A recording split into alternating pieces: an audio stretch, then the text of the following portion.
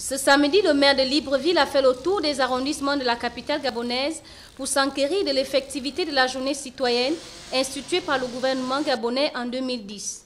Rose Francine Osuka, au Raponda, a discuté avec les riverains de la notion de devoir civique et la nécessité de la propreté de la ville qu'elle dirige. Chaque premier samedi de mois, tous les citadins, quelles que soient les villes du Gabon, et tout singulièrement ici à Libreville, la ville pour laquelle euh, j'en ai la gestion, doivent consacrer quelques heures dans le nettoyage de leurs concessions, de leurs déventures, pour les sociétés, de leurs institutions, de leurs sociétés, les départements ministériels également, de leurs départements ministériels, afin que leur environnement soit sain.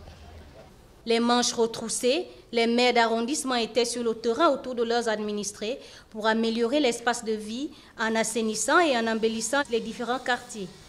Nous avons prévu le nettoyage de quatre zones, dont celle devant l'université et derrière l'Inter, vers la mairie.